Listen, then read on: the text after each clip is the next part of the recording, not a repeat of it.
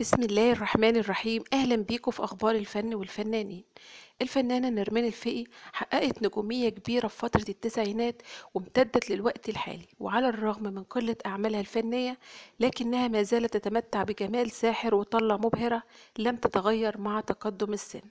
نرمين أظهرت نشاط ملحوظ خلال الفترة الأخيرة على السوشيال ميديا واعتنت بالظهور دائما في كل إطلالاتها من خلال حسابها الشخصي على إنستجرام.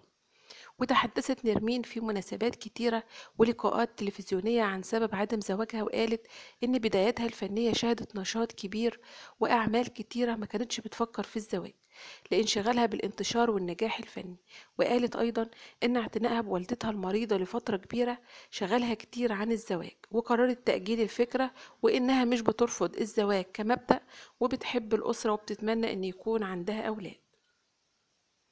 وكانت بتتمنى إنها تتجوز شخص يشبه خالها اللي قالت إنها بتعشق شخصيته وقالت إن في شخص اتقدم لها قبل كده على أساس إنه مهندس معماري واكتشفت بعد كده إنه مقاول ومزور أوراق وشهادات جامعية واعترفت نرمين الفقي إنها ندمت على أمرين مهمين في حياتها الأمر الأول إن شخصين اتقدموا للزواج منها ورفضتهم وقتها لأسباب معينة وكانوا جديرين بالموافقة وهي ندمانة على فوات تلك الفرصة.